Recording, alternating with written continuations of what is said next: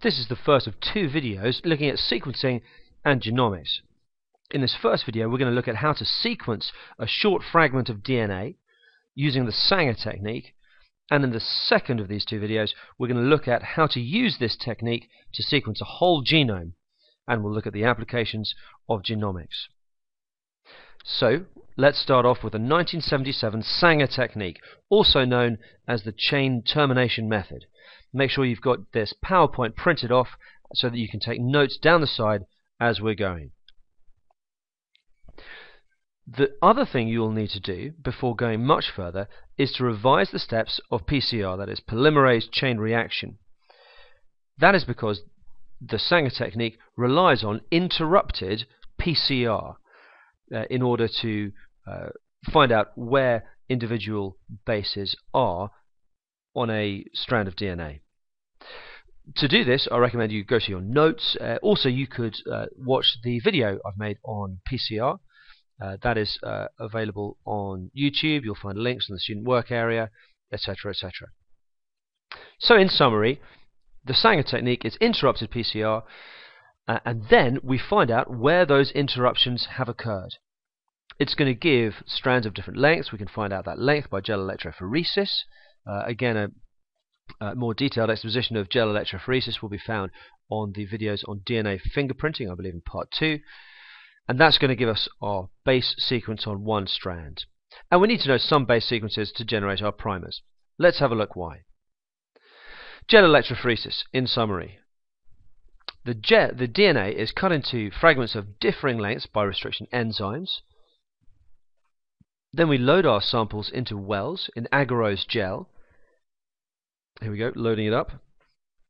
Uh, that'll happen under our buffer uh, in the uh, bath itself uh, and then you pass a current through that buffer. Now DNA is negatively charged. Uh, it's negatively charged because the phosphate groups carry a double negative charge and therefore the DNA will migrate away from the cathode towards the positively charged anode. Our small fragments move most quickly because they can wriggle their way around the uh, individual fibers uh, in uh, this agarose gel. And then we can move those fragments onto a nitrocellulose sheet or equivalent using southern blotting. Just a little bit on southern blotting quickly. It's not really rocket science, southern blotting, has to be said. Where's my cursor? Here we go. So, we've got our agarose gel there. Uh, it's all sitting on a big lump of plastic, and we've got our buffer solution here. This is a bit of filter paper, and by capillary action, the buffer will soak into the filter paper and will then soak up through the agarose gel. It'll soak all the way up to this absorbent paper. Uh, essentially, you whack a whole load of tissue paper on top of your gel, you weigh it down to squeeze it, and then you let buffer soak all the way up and through it. As it soaks up and through, the DNA, which is in this agarose gel, let's say we've got a band of DNA at this point in the agarose gel, that will be moved by the buffer, as the buffer goes up to there, up onto this nylon membrane. The DNA can't pass through that nylon membrane, uh, and so it just gets stuck on the nylon membrane, and we have an imprint of that gel, in, imprint of the DNA uh, in that gel, into the nylon membrane. And that takes us on to this technique, the Sanger technique. Now, these uh, pictures you will find in your OCR textbook. Uh, they're taken from uh, a PowerPoint uh, on that uh, textbook. So, we've got to start with a primer. We have to know a bit of the sequence of the DNA strand that we're looking at. So we have a, a bit of known sequence here, and an unknown sequence here. This is what we're trying to find out.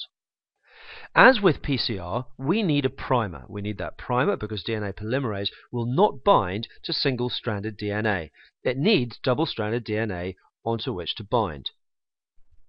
And then we have these free nucleotides around. These are DNA nucleotides. Here's my cursor. There we go. Um, DNA nucleotides G, T, A, etc. Now, remember, this is a DNA nucleotide. It's a triphosphate nucleotide. We need those uh, triphosphates, those three phosphate groups, in order to give us the energy to form the phosphodiester bonds that we're going to make uh, when we uh, join all these nucleotides together. So this letter G here really represents deoxy GTP. The T will represent deoxy TTP. We also have here fluorescently tagged terminator bases. Fluorescently tagged terminator bases. Now these have been chemically altered so that you can't add more onto them. You cannot take where's my cursor gone? Here we go.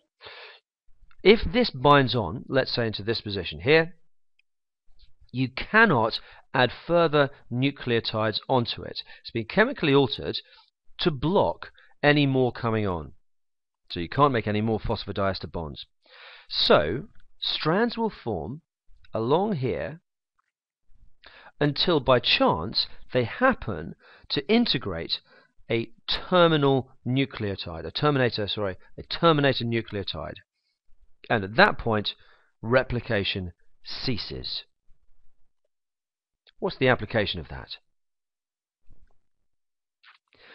If a term terminator nucleotide has been integrated into a strand, the strand will fluoresce at the wavelength of that tag. These terminator nucleotides fluoresce. They fluoresce at a particular wavelength. So C will fluoresce at a different wavelength to A, different to T, uh, and different to G. Therefore, that nucleotide base acts as a marker for that strand. What we can then do is find out the length of that strand in base pairs using gel electrophoresis.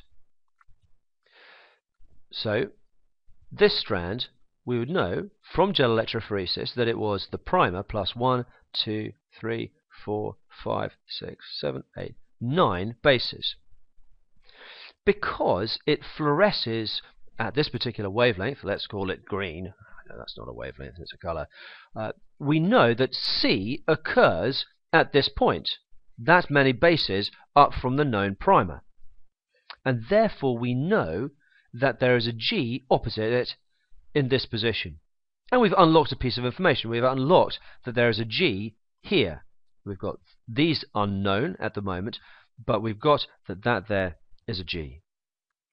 And then, of course, all you do is you've got a whole family of uh, DNA fragments of different lengths, and you run a great big gel, and you've got these patterns of fluorescence down here, and they tell you which is at which point.